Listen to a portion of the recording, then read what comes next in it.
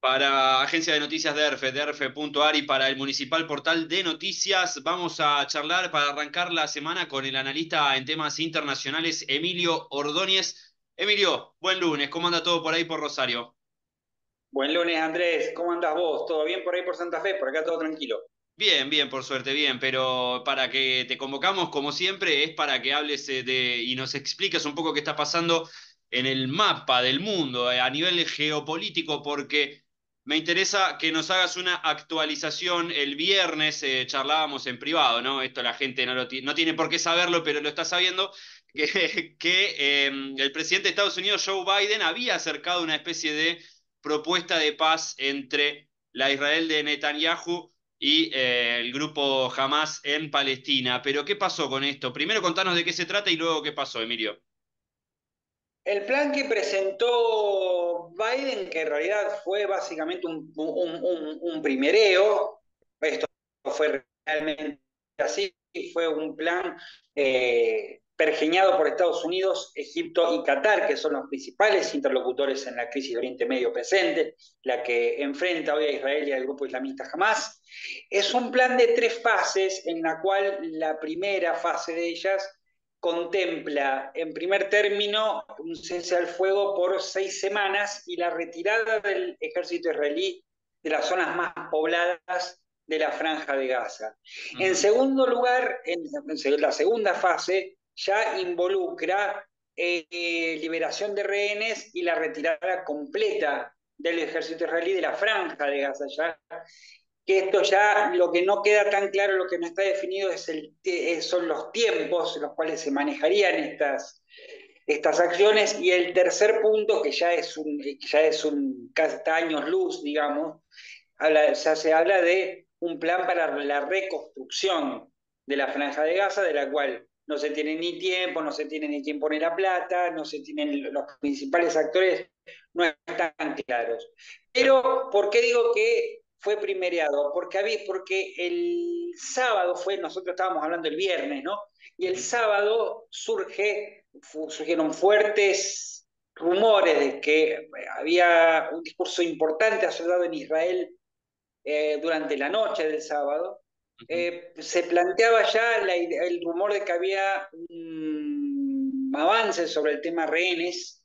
En este momento hay alrededor de 145 de los 100 1932. Eh, en rehenes se estima, la inteligencia israelí estima que por ahí está el número de rehenes retenidos al día de hoy, tanto por el grupo Hamas como por otros grupos.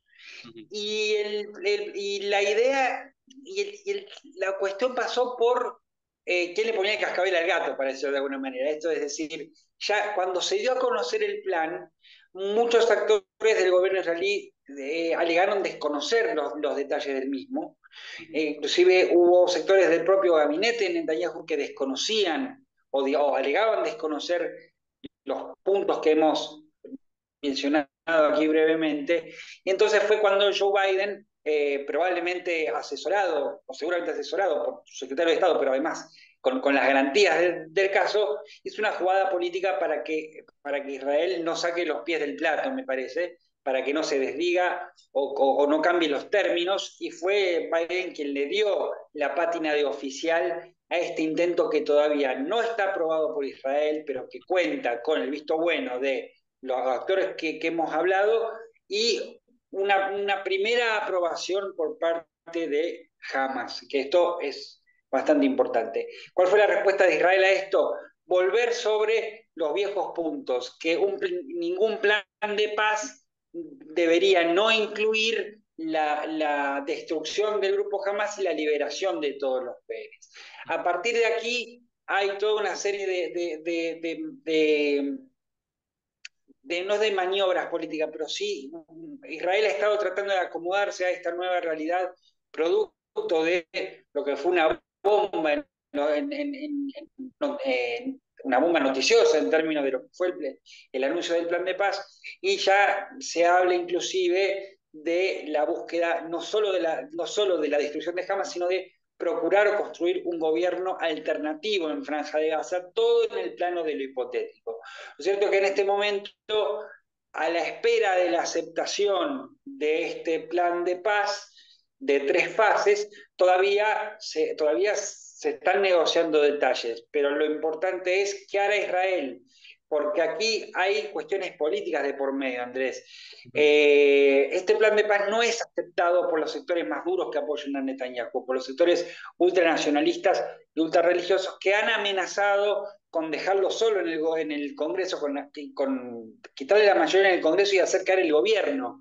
Esto era una amenaza que ya habíamos planteado en anteriores comunicaciones cuando decíamos que Netanyahu estaba como equilibrado entre las presiones de Estados Unidos y, y las presiones de su sector más duro. Bueno, Aquí está la presión de, de, su sector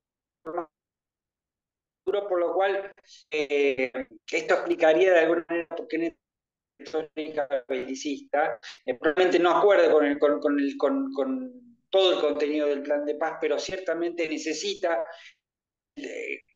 eh, necesita un discurso belicista para aglutinar a estos sectores que lo favorecen en el Congreso aglutinar a, un buen sector de la sociedad israelí que está de acuerdo con la operación militar. O sea que en este momento, eh, eh, entre, entre, el, entre el escenario de guerra y las cuestiones diplomático-políticas, está el ambiente todavía en movimiento en Medio Oriente y en Estados Unidos.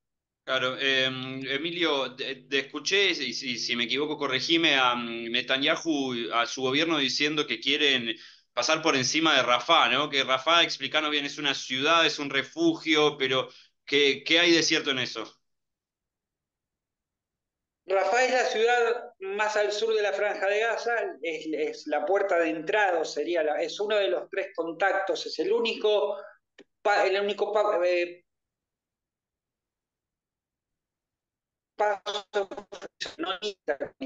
en las operaciones militares que se han dado en el sur de Rafah, una ciudad que está eh, hacinada de refugiados o lo estaba hasta hace, hasta, hace poco tiempo, pero de alguna manera tenemos cerca de un millón y medio de, un millón tres, un millón cuatro, un un millón cuatrocientos mil refugiados, se han ido alrededor de seiscientos mil refugiados a partir de los ataques de Israel sobre esta ciudad del sur, o sea, el último refugio de, todo, de toda la migración interna que fue moviéndose hacia el sur conforme los ataques de Israel iban barriendo la franja de Gaza.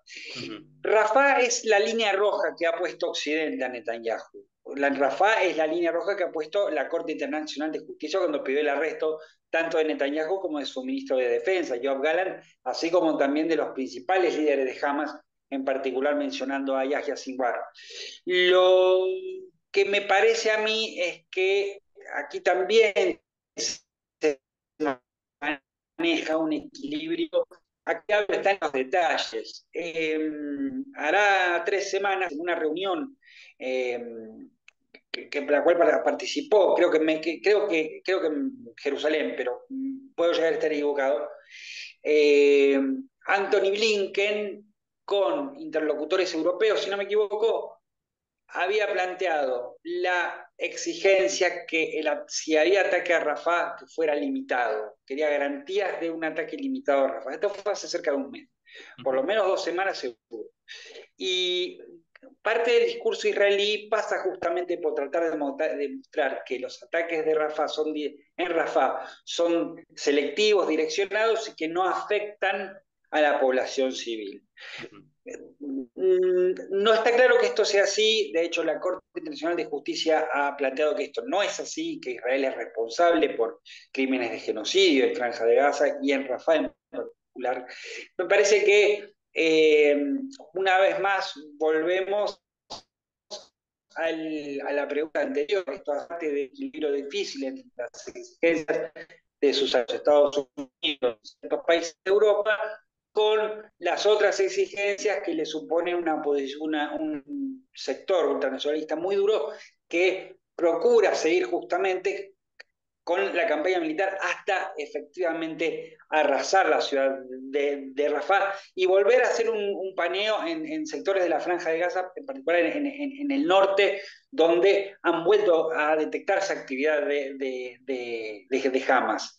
Hay un discurso en ese sentido y Occidente está atento, el norte mundial está atento, al mismo tiempo que cada vez más países de la Unión Europea, creo que, hay, creo que son 13 de 28 en este momento, quienes han decidido reconocer a Palestina, en una clara muestra de que eh, Israel hace rato que viene sufriendo fisuras en el relato que llevó a al amplio apoyo que tuvo la respuesta en contra del ataque que produjo Hamas el, 7 de octubre, pero que, pero que ese consenso se ha desgajado por completo y Netanyahu hoy está una vez más en equilibrio entre tratando de maniobrar fuerzas, tratando de mantenerse en el gobierno y tratando de que, tratando de que los aliados más importantes o los que él necesita no se, no se retiren de la coalición en el Congreso, la coalición que le da la mayoría en el Congreso, y también tratando de surfear la ola política, porque no nos olvidemos que Estados Unidos está en campaña electoral y que Israel es un gran tema de campaña en este momento.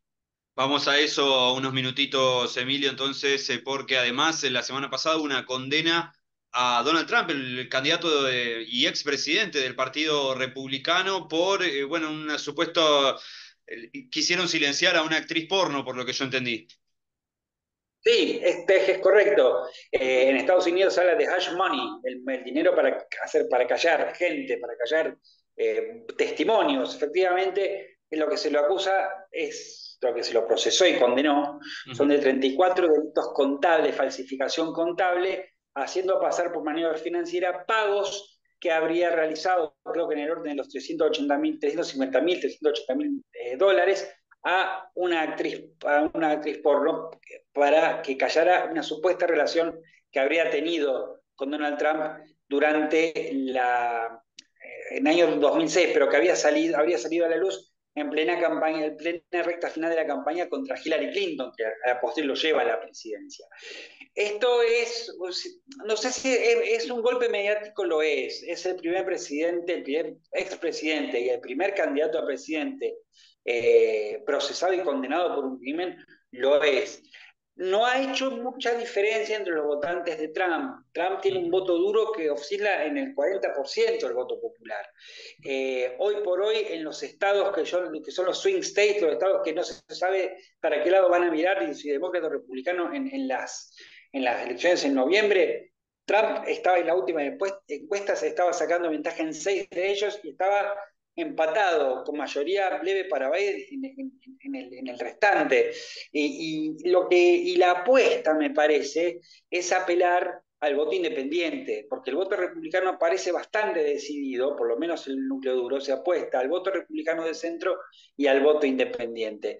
El tema de Israel puede llegar a ser una complicación, ya lo es, habida cuenta de lo que ocurre en las universidades, en las movilizaciones anti-israelíes, anti-Netanyahu en realidad, en términos del, pedido del, que se detenga los ataques israelíes en Gaza, y esto le ha quitado mucho voto joven a Trump. Va, a tener problemas para traccionar el voto joven que lo ayudó a, la que lo ayudó a llegar a la presidencia, y hoy por hoy ese, ese, voto no está tan claro que vaya, que esté tan solidificado de cara a noviembre, según lo que, según lo que, según lo que según lo que se puede apreciar desde aquí, que además, considerando que eh, se habla de, es una nueva generación eh, mucho más ecléctica, mucho más diversa racialmente, con ideas políticas mucho menos adaptadas o mucho menos amoldadas al establishment del Partido Demócrata, hay un cambio generacional del cual la izquierda sanderista se ha hecho,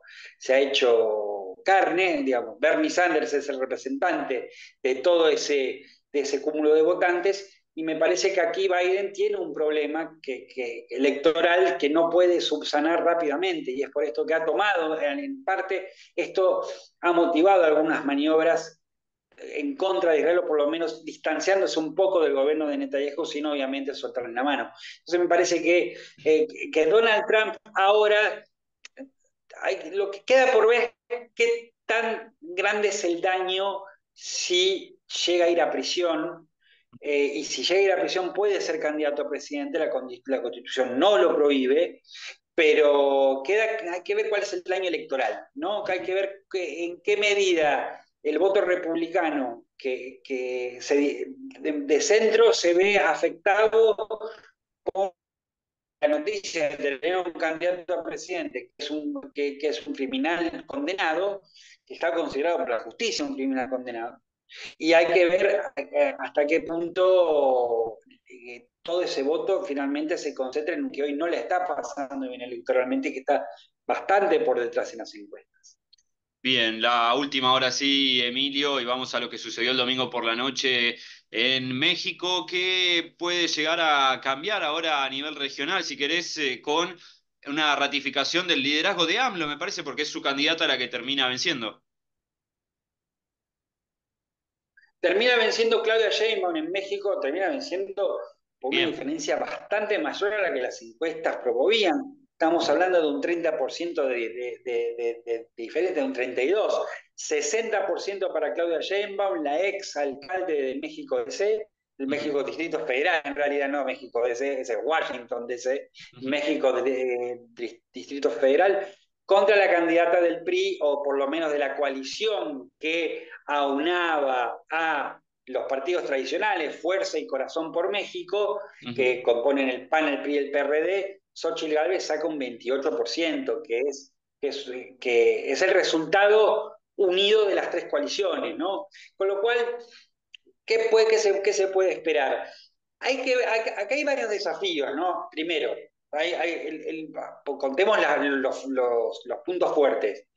Morena, o la coalición que encabeza Morena, Juntos Hacemos Historia, eh, saca siete puntos más de porcentaje de votos con, en relación hace seis años.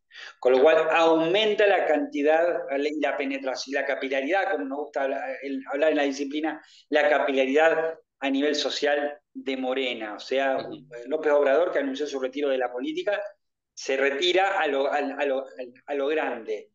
En segundo lugar, eh, bueno, Claudia Sheinbaum se convierte en la, en la primer presidenta de la historia de la República de México, con lo cual eso también abre, abre una puerta a, cierto, a cierta renovación en, una, en un entorno político conocido por su conservadurismo y, por su machismo, si se quiere, es una buena noticia. ¿Qué desafíos tiene Claudia Sheinbaum? La violencia social eh, que, se, que, se, que, se que se denotó en la campaña a partir de la muerte de 22 candidatos de diverso tipo, candidatos a puestos como senadores o diputados. Hay una violencia política, una violencia social rampante hoy por hoy en, México que no resuelve la cuestión todavía de, las bandas, de las bandas criminales y de las bandas narcotraficantes, no la termina de resolver. Sin embargo, la seguridad no parece haber, o la inseguridad no parece haber permeado la popularidad de López Obrador a partir del desarrollo económico. y México está creciendo 2,5% anual, que es, más allá de la media latinoamericana. Y el tema de, em, según primer, primer desafío, segundo desafío, eh, ¿logrará Claudio Sheinbaum salir de la sombra de López Obrador?